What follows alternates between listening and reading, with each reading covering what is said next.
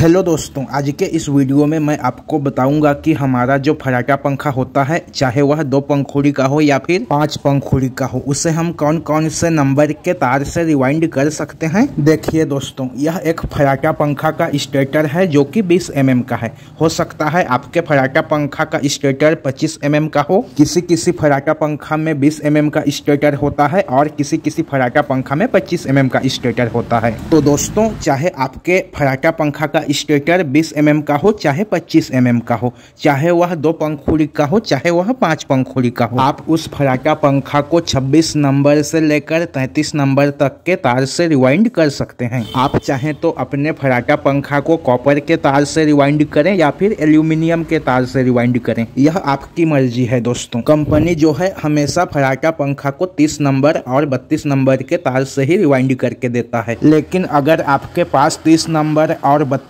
Number का तार न हो तो यह ज़रूरी नहीं है कि आप उसे 30 और 32 नंबर के तार से ही रिवाइंड करें। आप उस पंखे को 26 नंबर से भी रिवाइंड कर सकते हैं 27 नंबर से भी रिवाइंड कर सकते हैं 28 नंबर से भी रिवाइंड कर सकते हैं, उनतीस नंबर से भी रिवाइंड कर सकते हैं और इकतीस नंबर से भी रिवाइंड कर सकते हैं। और यदि आपके पास इन सभी नंबर का तार भी नहीं है तो आप अपने फराटा पंखा को तैतीस नंबर के तार से भी रिवाइंड कर सकते हैं। लेकिन आपको उसके टर्न को कम ज़्यादा करना पड़ेगा दोस्तों। जैसे कि इसमें आप 32 नंबर तार से 230 टर्न देते हैं तो आपको इसमें 33 नंबर तार से 240 टर्न देना होगा। और यदि आप इस पंखा को 31 नंबर तार से रिवाइंड करते हैं तो आपको इसमें 220 टर्न देना होगा। इसी तरह से आपको हर नंबर के अंतराल में 10-10 टर्न कम ज़्यादा कर लेना है। तार का नंबर यदि मोटा होता जाएगा तो उसमें 10-10 टर्न कम होता जाएगा। और यदि तार का नंबर पतला होता जाएगा तो उसमें दस दस टर्न बढ़ता जाएगा। घबराइए मत दोस्तों, आपके पंखे के स्पीड में कोई ज़्यादा फ़र्क नहीं पड़ेगा, वह आराम से अच्छे से चलेगा।